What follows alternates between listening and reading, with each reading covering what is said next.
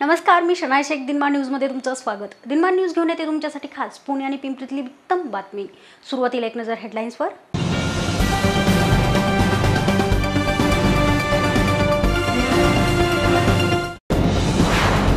बारामतीत जरी मोदी यांनी सभा घेतली तर आम्हाला फरक पडणार नाही. शरद पवार यांची स्पष्टोक्ती मावळ लोकसभा मतदारसंघातील युतीचे उमेदवार श्रीरंग बारणे आणि भाजपचे आमदार लक्ष्मण जगताप यांच्यात मनोमिलन. लोकसभेचं राजकारण तापण्यास झाली सुरुवात. पार्थ अजित पवार यांच्या प्रचारार्थ पिंपरी चिंचवड शहरातून दुचाकी रॅली. आणि मोदींना घराचा अनुभव नाही त्यामुळे ते दुसऱ्याच्या घराची चौकशी करतात. राष्ट्रवादी काँग्रेसचे अध्यक्ष शरद पवार यांनी मोदींना दिले प्रत्युत्तर. आता बातम्या सविस्तरणे बारामतीमध्ये मोदी यांनी सभा घेतली तरी आम्हाला कोणताही फरक पडणार नाही. उलट आमचे उमेदवार जास्त मताधिक्याने निवडून येतील असा विश्वास शरद पवार यांनी व्यक्त केला आहे मध्यंतरी नरेंद्र मोदी यांनी बारामतीमध्ये येऊन काका पुतण्यांना सत्तेवरून खाली खेचा असं आवाहन केलं. परंतु त्यावेळच्या निवडणुकीत सत्तर ते पन्नास लाखांनी निवडून येणारे अजित पवार लाखांच्या मताधिक्याने निवडून आले. त्यामुळे मोदी जरी बारामतीला आले तरी आम्हाला फरक पडणार नसल्याचं पवार यांनी सांगितलंय. दरम्यान या देशात भाजप सरकार हे अराजकता माजवणारं सरकार असून यापुढे देशात निवडणुका होणार की नाही असं बोललं जातंय. पण या लोकशाही देशात असं होणार नसून त्याला प्रत्युत्तर देण्यास आम्ही सक्षम आहोत असं पवार यांनी यावेळी स्पष्ट केलंय. एका निवडणुकीच्या वेळेला अजितच्या आणि त्या निवडणुकीमध्ये बारामतीच्या लोकांना सांगितलं या चुलता फुटण्याला या निवडणुकीत पराभूत करा. तर आधीच मी ऐंशी नव्वद हजारच्या फरकात निवडून येतो. मोदींनी भाषण केल्यानंतर त्याचं मार्जिन एक लाखाच्या पुढे गेलं. त्यामुळे ते येतात ह्याची मला काही चिंता नाही. मग गंमत अशी आहे की ते या चुलता फुटण्याला घालवा म्हणतात. त्याच्यानंतर एकदा आले. आणि आले तर आले. आणि त्यांनी सांगितलं या देशाची शेती कुणी सुधारली असेल तर शरदरावांनी सुधारली. आणि मगाशी मी सांगितल्याप्रमाणे तिथंच सांगितलं की या सगळ्या गोष्टीच्या संबंधी शेतीसंबंधी मला काही माहिती हवी असेल तर मी तासन तास त्यांच्यावर वस्तू समजून घेतलं. आणि त्यांचं बोट धरून मी या सगळ्या क्षेत्रात आलेलो. म्हणजे काय बोलायचं? काल एक आज एक आता उद्या दहा तारखेला काय? ही एक गोष्ट आपण त्याचा उपयोग पडेल निवडणुकीच्या नंतर काही उपयोग नाही कारण ते काही येत राहत नाहीत आता. आता देशाचा मूळ परिवर्तनाचा आहे आहे. मावळ लोकसभा मतदारसंघातील युतीचे उमेदवार श्रीरंग बारणे आणि भाजपचे आमदार लक्ष्मण जगताप यांच्यात अखेर मनोमिलन झालं असून आज दोघांनी एकत्रित पत्रकार परिषद घेतली आहे. लोकसभा दोन हजार चौदाला विरोधक म्हणून समोरासमोर असलेले श्रीरंग बारणे आणि लक्ष्मण जगताप यांच्यात घमासान झालं होतं. आणि त्यामध्ये शिवसेनेचे श्रीरंग बारणे यांनी बाजी मारली होती. त्यानंतर दोघांनी एकमेकांवर आरोप प्रत्यारोप केले. मात्र दोन हजार एकोणीसच्या लोकसभेला युतीचे उमेदवार श्रीरंग बारणे एक पाऊल मागे घेत भाजप आमदारांकडे युतीचा हात मागायला गेले. आणि अखेर आज नाराज लक्ष्मण जगतापांनी संयुक्त पत्रकार परिषद घेत प्रचारात सहभागी होणार असल्याचं स्पष्ट केलंय. आणि आणि दोन लाख मतांनी युतीचा उमेदवार निवडून आणण्याचं आश्वासन जगताप यांनी दिलंय. खरं तर आम्ही सर्वांनी आत्मपरीक्षण केलं. आपण ज्यावेळेस दुसऱ्याची चूक पाहतो त्यावेळेस खूप प्रश्न पडतात. पण आपण ज्यावेळेस आपली चूक शोधायला जातो त्यावेळेस खूप मोठ्या प्रमाणात प्रश्न सुटलेले असतात. आणि मला वाटतं आम्ही दोघांनी त्याच कृतीचं अंमलबजावणी केली आणि त्यातनं आमच्यामुळे जे जे प्रश्न निर्माण झाले होते किंवा आमच्या एकमेकातल्या गैरसमजामुळे जे प्रश्न निर्माण झाले होते ते कसे सुटतील यासाठी दोघांनी प्रयत्न केला. त्याच्याही पुढे जाऊन गेले दहा वर्षात आमच्या दोघात निश्चित मतभेद होते. मतभेद असले तरी आमच्यात मनभेद नव्हते आणि जे मतभेद होते ते विकासाच्या कामाच्या दृष्टिकोनातूनच होते. वैयक्तिक स्वरूपातले कुठलेही मतभेद नव्हते. तसंही पाहिलं तर माझ्या पक्षाचं ब्रीद आहे. की पहिला देश मग पक्ष आणि मग व्यक्ती. माझ्या कुठलेही नफा तोटा किंवा स्वतःपेक्षा माझा पक्ष मला मोठा आहे आणि माझ्या पक्षापेक्षा मला देश मोठा आहे आणि देशांसाठी मोदींची गरज आहे. आणि म्हणून या एकाच विचाराने आम्ही सर्वजण एका व्यासपीठावर आलोय. येऊ घातलेल्या लोकसभाच्या निवडणुकीत मला वाटतं की मावळ विधानसभेत जे सहा मतदारसंघ येतात त्या सहा मतदारसंघात सगळ्यात विक्रमी मतं चिंचोड विधानसभेतनं कशी देता येतील यासाठी भारतीय जनता पक्षाचा अध्यक्ष आणि चिंचोड विधानसभेचा सदस्य म्हणून मी मनापासून प्रयत्न करतो. भूषण भाऊ जगताप यांच्या बाबतीमध्ये अनेक वृत्तपत्रामध्ये बातम्या प्रसिद्ध झालेल्या आहेत या पाहिलेल्या आहेत. या निवडणुकीच्या माध्यमातून ही निवडणूक देश हिताच्या दृष्टिकोनातून अतिशय महत्वाची निवडणूक आहे.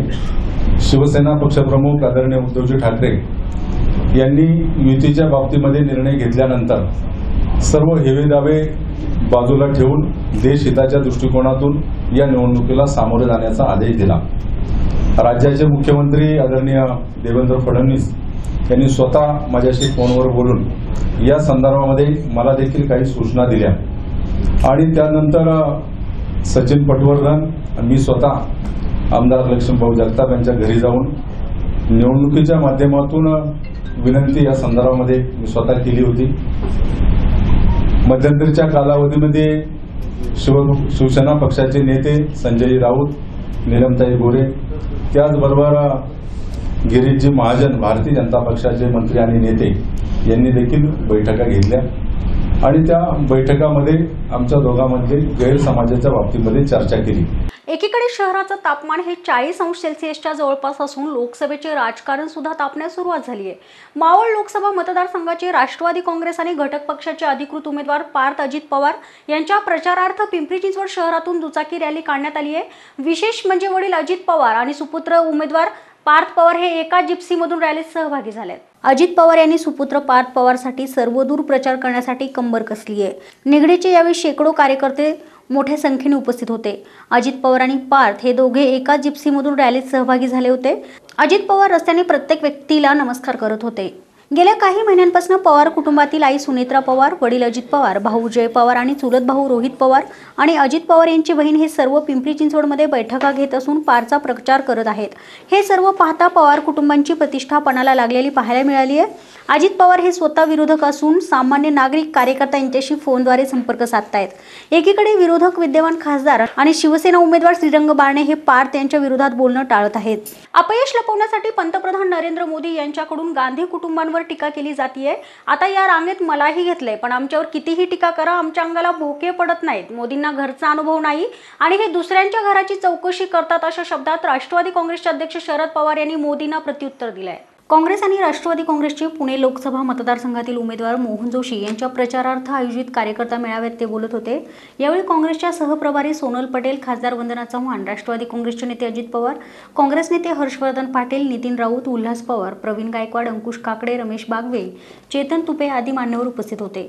मोदी यांच्याकडून सातत्याने गांधी आणि पवार कुटुंबियांवर होत असलेल्या टीकेचा पवार यांनी यावेळी खरपूस समाचार घेतलाय वर्ध्याची सभा सभा कुठं वर्ध्यात आणि भाषण काय केलं सरस पवारांचं आणि काय सांगितलं यांच्या घरात कदर आहे. आणि अजित पवारांनी ताबा आणखीन पुढच्या पिढीने ताबा त्यांचं घर काही एक राहिलेलं नाही. त्यांच्या घरात सासचे सासते राहिले. तुझी साहेब आम्ही सगळे जण काही संस्कारात वाढलेले. लोक माझी आई ज्याने आम्हाला शिक्षण दिलं संस्कार दिले ती एकोणीसशे छत्तीस साली पुणे जिल्ह्यातलं लोकल बोलावं येणारी पहिली काँग्रेसची महिला. इतर लोकल बोलामध्ये स्कूल बोर्डामध्ये ती प्रमुख होती. शेती करणारा आम्ही लोक होतो. पण घरातल्या प्रत्येक मुलाला ती शिकवतो माझ्या फार सात भावांपैकी चार भाऊ माझे परदेशात शिकवतात मोठ्या मोठ्या डिग्रीवर गेले. माझे मोठे मोठे हयात नाहीत. पुणे जिल्ह्यातले एक नंबरचे वकील माझे दोन नंबरचे बंधू दिनकरराव. त्यांना पद्मश्री मिळाली या देशामध्ये शेतीच्या क्षेत्रामध्ये काम केलं माझा आता धाकटा भाऊ प्रताप वृत्तपत्राच्या क्षेत्रामध्ये त्यांनी केलेल्या कामासाठी त्यांना पद्मश्री मिळाली. मला पद्मविभूषण मिळालं. ही माता कसली माता असली पाहिजे? त्या मातीच्या तीन मुलांना पद्मश्री पद्मभूषण मिळतं ही माता काही साधी असेल. आणि तुम्ही त्या सगळी सांगता की त्या घरात काहीच नाही मोदींना घराचा अनुभव मला माहिती आहे बाकीचा काय अनुभव आहे माझ्याकडे माहिती नाही. पण त्यांना स्वतःच्या घराचे अनुभव नाही घरात कुणी नाही. जे आहे ते कुठंही ह्याचाही पत्ता लागत नाही. कधीतरी फोटो बघायला मिळतो. आणि आता हे दुसऱ्याच्या घराची चौकशी करणार आणि लोक सांगतात तुमची फार दोस्ती. पत्रकार सांगतात तुमच्या काय तुमची करा? तुमचं गोल धरून म्हणजे राजकारणात आले. आता माझं गोल धरून. राजकारणामध्ये म्हणजे आम्हा लोकांचा एक संस्कार केलेच यशवंतराव चव्हाणांनी. आणि लांबून आम्ही फायदे जवाहरलाल नेहरू. आता वेळ झाली एका छोट्याशा ब्रेकची पण ब्रेक नंतर तुम्ही पाहत राहा दिनमान न्यूज स्मार्ट सिटीत प्रत्येकजण झालाय स्मार्ट. प्रत्येक गोष्टीत प्रत्येकाला हवाय स्मार्टनेस. होय हीच बाब लक्षात घेत आम्हीही झालोय स्मार्ट. प्रत्येक बातमी देतोय निर्भीडपणे तेही स्मार्ट वेळ म्हणूनच तर सोशल मीडियावर गाठलाय तीस लाखांपेक्षा जास्त व्ह्युअर्सचा पल्ला. तोही स्मार्ट पुणेकरांचा प्रत्येक बातमीत मिळेल एक अचूकता आणि सत्यता. म्हणूनच सोशल मीडियावर जिंकतोय हजारो लोकांची म्हणे प्रत्येक बातमीच ठरते प्रभावशाली. म्हणूनच होते ती फॉरवर्ड आणि सुपरफास्ट असाच करणार प्रवास प्रत्येक क्षेत्रात तुमच्या साथीने. पाहत रहा दिनमान न्यूज एक निर्भीड व्यासपीठ. विश्रांतीनंतर तुमचं पुन्हा एकदा स्वागत. बुधवार पेठेतील साईनाथ मंडळ ट्रस्टतर्फे रामनवमीनिमित्त विविध सांस्कृतिक कार्यक्रमांचं आयोजन करण्यात येणार आहे. बुधवार पेठेतील साईनाथ मंडळातर्फे देण्यात येणारा प्रतिष्ठित साई पुरस्कार यंदा इस्रोचे समूह संचालक ज्येष्ठ अंतराळ शास्त्रज्ञ सुरेश नाईक यांना प्रदान करण्यात येणार आहे. हा कार्यक्रम तेरा एप्रिलला बुधवार पेठ बहुरंगारी पद येथील साईनाथ मंडळ ट्रस्ट येथे देण्यात येईल अशी माहिती मंडळाचे अध्यक्ष पियुष शाह यांनी दिली आहे. साईनाथ मंडळ ट्रस्टच्या वतीने दोन हजार एकोणीस सालचा जो साई पुरस्कार आहे तो यंदाच्या वर्षी आपण इस्रोचे माजी समूह संचालक सुरेश नाईक सर यांना प्रदान करतोय. तो देण्याकरता नितीन करमळकर सर पुणे सावि सावित्रीबाई पुणे विद्यापीठाचे कुलगुरू त्यांच्या हस्ते आपण देतोय. आणि एन सी एलमध्ये ज्यांनी चार दशक सायंटिस्ट म्हणून काम केलं असे अरविंद नातू सरांच्या हस्ते आपण तो पुरस्कार देतोय. हे आपलं चौदावं वर्ष आहे. प्रत्येक वर्षी आपण प्रत्येक एक आपल्या आपल्या शेतात उल्लेखनीय काम करणाऱ्या व्यक्तींना हा सन्मानित करतो हा पुरस्कार. Sanjeev Abhyankar Rahul Deshpande Sharvari Jamenis air marshal Bhushan Gokhale lieutenant general general Vinayak Patankar sir दिग्दर्शक उमेश कुलकर्णी अभिनेता गिरीश कुलकर्णी अशा सगळ्या व्यक्तींना आपण सन्मानित केलेलं आहे. सायन्स अँड टेक्नॉलॉजी हे क्षेत्र कधी आपलं झालं नव्हतं. त्यामुळे पहिल्यांदा एक मागच्या महिन्यात जे भारताने जी कामगिरी केली होती ते म्हणजे एअर मिसाईल्सवरून आपण उपग्रहावरती एक आपलं यश मिळवलं. त्याचा आनंदोत्सव म्हणून यावर्षी आपण सायंटिस्टला निवडलेला आहे. आणि तो म्हणजे खरी आम आमच्या मंडळासाठी ती अभिमानाची आणि सौभाग्याची गोष्ट आहे की गणपती मंडळात हे तिघही पाहुणे पहिल्यांदा येत आहेत. पिंपरी चिंचवड परिसरातील चिखली येथे भंगार गोदामाला भीषण आग लागल्याची घटना घडली आहे यामध्ये कोणत्याही प्रकारची जीवितहानी झाली नाही. चिखली परिसरात मोठ्या प्रमाणावर भंगारची दुकानं गोदामं असून मोठ्या प्रमाणावर आग लागल्याच्या घटना घडत आहेत सोमवारी पहाटे पाच वाजण्याच्या सुमारास महापौर राहुल जाधव यांनी चिखली परिसरात आग लागल्याची माहिती अग्निशामक विभागाला दिली आहे. त्यानंतर पंधरा ते वीस अग्निशमन दलाच्या गाड्या दाखल झाल्या होत्या आणि त्यानंतर आग आटोक्यात आणण्यास अग्निशमन दलाला यश आलंय. ती अनाथ. मावशीने तिचा सांभाळ केला शिक्षण घ्यायचे म्हणून ती पिंपरी चिंचवडमध्ये आली. आर्थिक बोजा हलका व्हावा म्हणून तिने नोकरी सुद्धा केली पण प्रेमात तिला धोका मिळाला आणि तिने आत्महत्या केली आहे. जन्मताच अनाथ असलेल्या तिची मृत्यूनंतर ही मुक्तता होत नाही. नातेवाईकच मिळत नसल्याने तिचा मृतदेह गेली चार दिवस शवागृहात पडून होता. अखेर त्यावर पोलिसांनी अंत्यसंस्कार केलेत. ही वैशाली गवळी मूळची नगर जिल्ह्यातली तिचा हा हसरा चेहरा पाहून ती किती आनंदात आहे असं सगळ्यांनाच वाटेल. पण या हसऱ्या चेहऱ्यामागे अनंत यातना लपलेल्या. लहानपणीच वैशालीच्या डोक्यावरून आईवडिलांचं छत्र हरवलेलं मावशीने तिचा सांभाळ केला. शिक्षण घेण्यासाठी ती पिंपरी चिंचवडमध्ये आली. आर्थिक हातभार लागावा म्हणून मॉलमध्ये नोकरीसुद्धा तिने करायला सुरुवात केली. तिथं तिला विराज दराडे नावाचा युवक भेटला. त्याने तिच्यावर प्रेम केल्याचं नाटक केलं. तिला आयुष्यात सर्वस्व मिळाल्याचा आनंद झाला पण प्रेमात सर्वस्व अर्पण केलेल्या तिला अखेर प्रेमात धोका मिळालाय. त्याने लग्नाला नकार दिला. तिने पोलिसांना झालेला प्रकार सांगितला पण पोलिसांनी ऐकलं नाही आणि अखेर तिने आत्महत्या केली आहे पनवेलचे भाजप आमदार प्रशांत ठाकूर यांचे वडील आणि माजी खासदार रामशेठ ठाकूर पक्षांतर्गत करतील असे सुतोवाच शेकापचे नेते जयंत पाटील यांनी दिले बैठकीनंतर त्यांनी पाटलांनी हे भाकी दर्शवले. शेकापमधून अनेकांनी काढता पाय घेतला पण आम्हाला त्याचा कधीच फरक पडला नाही. स्थानिक स्वराज्य संस्थेत शेकापची सत्ता आजही अबाधित आहे. त्यामुळे कोणी कुठं गेलं तरी पातला याचा फटका बसणार नाही असा दावा करतानाच निवडणूक आल्या की माजी खासदार रामशेठ ठाकूर पक्षांतर्गत करतात असं पाटलांनी सूचित केलंय. काँग्रेस आहे राष्ट्रवादी आणि शेका पक्ष. एकत्र आल्यानंतर मला नाही वाटत तिथे काय प्रश्न येईल. दोन्ही जागा प्रचंड मताने येतील. वरती पवार साहेबांमुळे आणि अजितदादांमुळे वेगळी मतं त्या ठिकाणी मिळणार आहेत. तुम्ही प्रश्न विचारणार पाच पवारचं काही हे मत घेतलेत. आम्ही मागणी करून एका पक्षाने मागणी केलेली आहे की पाच पवारांना उमेदवारी द्या. जेणेकरून नवीन चेहरा आला पाहिजे या पद्धतीची भूमिका घेतली. मी पहिल्यांदाच मागणी केली कुणी केली नव्हती की शेका पक्षाच्या वतीनं तुम्हाला जर भक्कम पाठिंबा पाहिजे असेल आणि मताधिक्य जास्त पाहिजे असेल तर पाच पवारांना तुम्ही या ठिकाणी उमेदवारी द्या ही मागणी आम्ही केली. एम आय टी विश्वशांती विद्यापीठ पुणे आणि M I T art design and technology विद्यापीठ पुणे यांच्या संयुक्त विद्यमाने श्रीमद भगवद्गीता ज्ञानभवनाचा उद्घाटन सोहळा मोठ्या उत्साहात संपन्न झाला आहे संगणक तज्ज्ञ पद्मभूषण डॉक्टर विजय भटकर विश्वनाथ कराड श्रीपाल सबनीस बुधाजीराव मुळीक आदी मान्यवर यावेळी उपस्थित होते. श्रीमद भगवद्गीता ज्ञानभवनाच्या प्रवेशद्वाराशी दिव्य ज्ञान यज्ञ कुंड उभारण्यात आले या ज्ञानकुंडामध्ये सर्व धर्माच्या धर्मगुरूंनी विश्वशांती प्रार्थना करून अग्नी प्रज्वलित केला आहे त्यानंतर मान्यवरांच्या उपस्थितीत श्रीमद भगवद्गीता ज्ञानभवनाचे उद्घाटन करण्यात आले. ज्ञान विज्ञान निष्ठित वैश्विक भारतीय संस्कृती परंपरा आणि- तत्वज्ञानाचा मानवता सहिष्णुता विश्वशांती आणि एक सत विप्रा बहुधा वदंती आणि वसुधैव कुटुंबकम असा संदेश देणाऱ्या तत्वज्ञ संत श्री ज्ञानेश्वर माऊली यांच्या विचारांवर एम आय टी समूह चालत आहे. ज्ञानयज्ञाच्या माध्यमातून संपूर्ण जगातील धर्मग्रंथ हे खऱ्या अर्थाने जीवनग्रंथ आहेत.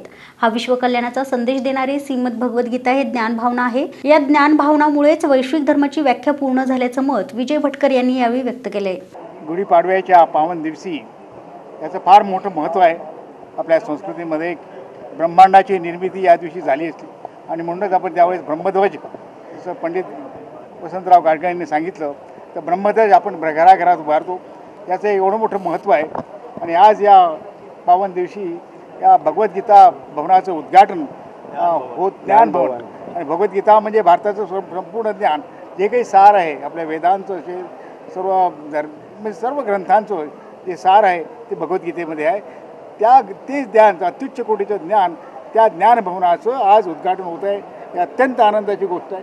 इथे म्हणजे आपण सर्व सर्व ब्रह्मांडाला सर्व जनतेला जगातल्या ज्या सर्व धर्मांना आपण कसं समावून घेऊन एक मानवता धर्म तयार करतो आहे तर त्या त्याचा मेसेज त्याचं संकेत आपण सर्व जगाला देतो आहे इंडियन मेडिकल असोसिएशन पुणे शाखेच्या पदाधिकाऱ्यांचा पदग्रहण समारंभ संपन्न झालाय.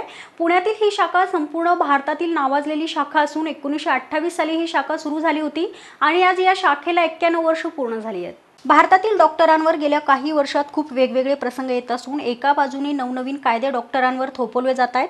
जसे ग्राहक संरक्षण कायदा P C P N D T act तसेच नॅशनल मेडिकल कमिशन अशा अनेक कायद्यांमुळे डॉक्टर्स कचाट्यात येत आहेत. त्यामुळे इंडियन मेडिकल असोसिएशनतर्फे या कायद्यांपासून डॉक्टरांचं कसं संरक्षण व्हावं तसेच अशा प्रकारच्या कायद्यांमधील त्रुटी आणि गैरसमज दूर करण्याचा प्रयत्न इंडियन मेडिकल असोसिएशन करते भारतातल्या डॉक्टरांवर गेल्या काही वर्षात खूप वेगवेगळ्या प्रकारचे प्रसंग येत आहेत.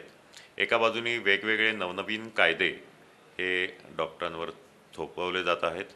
उदाहरणार्थ कन्झ्युमर प्रोटेक्शन ॲक्ट म्हणजे ग्राहक संरक्षण कायदा P C P N D T act त्यानंतर नॅशनल मेडिकल कमिशन आणि इतर अनेक गोष्टी याबद्दल डॉक्टरांना बऱ्याच गोष्टी आज कायद्याच्या कचाट्यामध्ये येत आहेत.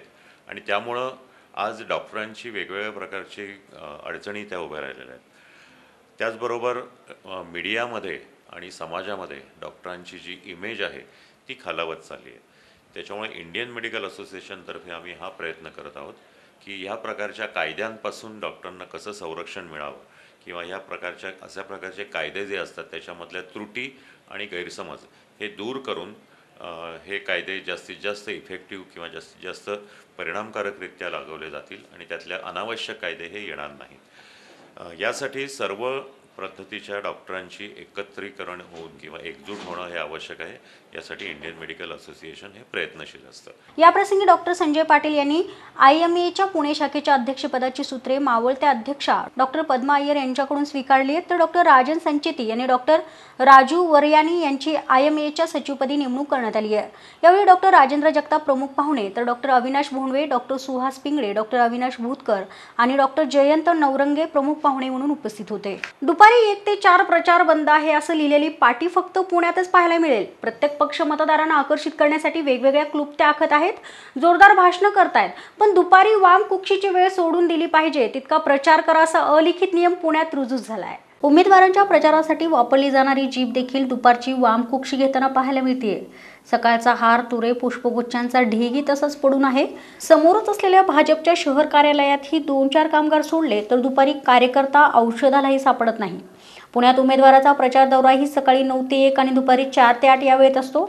एक ते चार वामकुक्षी म्हणजेच वामकुक्षीच याला पर्याय नाही. वामकुक्षीच्या बाबतीत भाजप आणि काँग्रेस एकाच माळेची म्हणी आहेत. दुपारी एक ते चार या काळात काँग्रेस भवन ही निवांत पडलेलं पाहायला मिळाले दोन वर्षांपूर्वी पुणे महापालिकेच्या निवडणुकीवेळी मुख्यमंत्र्यांची प्रचारसभा एका महाभागानं दुपारी दोन वाजता ठेवली पण पुणेकरांच्या वामकुक्षीमुळे अखेर ही सभा रद्द करावी लागली आहे ऐकतील ते पुणेकर कसले?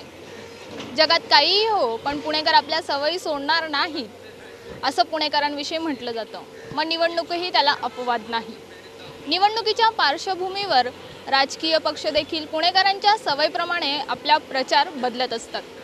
दुपारी एक ते चार ही पुणेकरांच्या वामकुशीची वेळ. यात कुठलाही प्रचार केला जाणार नाही अशी पाटी पुणे पुण्यामध्येच पाहायला मिळते. राजकीय पक्षांचे उमेदवार देखील आपल्या प्रचारासाठी वापरणाऱ्या गाड्या दुपारी वामकुशी घेतानाचे चित्र दिसत आहेत. कॅमेरा पर्सन पियुष बागळेसह वर्षा हिरे पुणे. पुढच्या निवडणुकीत मोदी हे पंतप्रधान पदाच्या जवळपासही दिसणार नाहीत ते वेगळ्याच ठिकाणी दिसतील असं सूचक वक्तव्य पुण्यात पत्रकार परिषदेत माजी मुख्यमंत्री पृथ्वीराज चव्हाण यांनी केलं आहे मला वाटतं राज ठाकरे हे मोदींचा पर्दाफाश करतायत. त्यांच्या सर्वांचा उद्देश असा आहे की येणाऱ्या लोकशाहीमध्ये मोदी नसावेत आणि त्याची आता व्यवस्था झालेली आहे. मी या ठिकाणी आता मी काही राजकीय भविष्य सांगत नाही.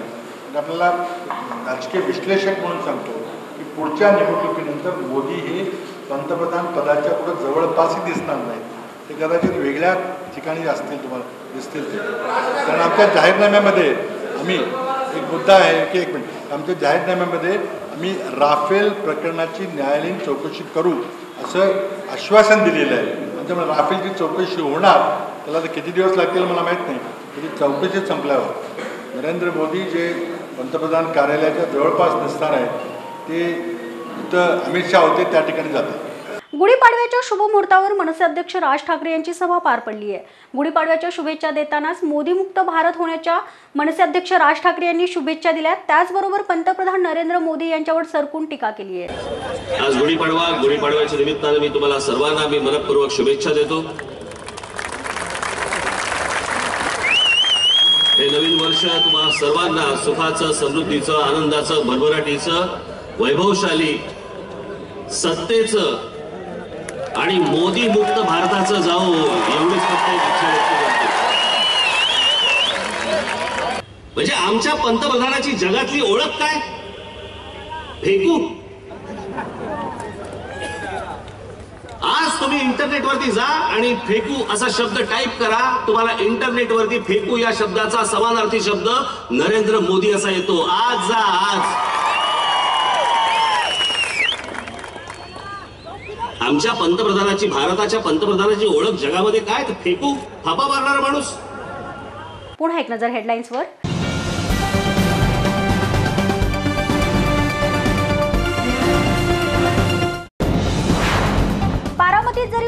सभा घेतली तर आम्हाला फरक पडणार नाही. शरद पवार यांची स्पष्टोक्ती मावळ लोकसभा मतदारसंघातील युतीचे उमेदवार श्रीरंग बारणे आणि भाजपचे आमदार लक्ष्मण जगताप यांच्यात मनोमिलन. लोकसभेचं राजकारण तापण्यास झाली सुरुवात. पार्थ अजित पवार यांच्या प्रचारार्थ पिंपरी चिंचवड शहरातून दुचाकी रॅली. आणि मोदींना घराचा अनुभव नाही त्यामुळे ते दुसऱ्याच्या घराची चौकशी करतात. राष्ट्रवादी काँग्रेसचे अध्यक्ष शरद पवार यांनी मोदींना दिले प्रत्युत्तर. याचबरोबरचं बातमीपत्र इथे संपलं. तुम्ही पाहत राहा दिनमान न्यूज. एक निर्भीड व्यासपीठ. नमस्कार.